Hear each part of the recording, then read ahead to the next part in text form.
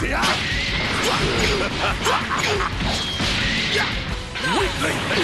go!